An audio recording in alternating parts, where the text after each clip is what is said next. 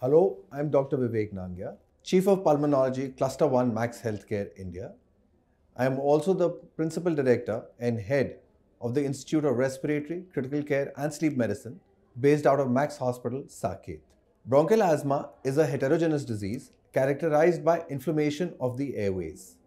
In patients with bronchial asthma, there is narrowing of this lumen through which the air has to go. This narrowing could be because of inflammation, because of mucus being produced, because of spasm of the muscles, which results in narrowing of the airways further.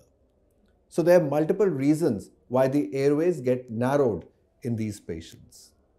The most common risk factors for developing asthma are smoking, allergies, occupational exposure to some noxious substances and gases which can result in inflammation in our airways. The most common triggers which could precipitate bronchial asthma include animal danders from furry pets inside the houses like dogs, cats.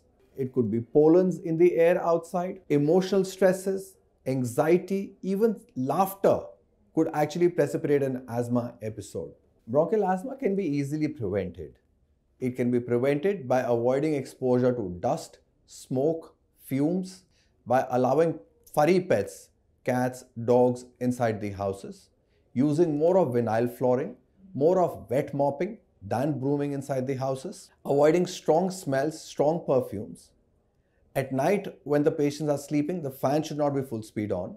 The ambient room temperature should be around 24 degrees or 25 degrees. Patients should avoid having anything chilled, cold, frozen, and live a healthy lifestyle.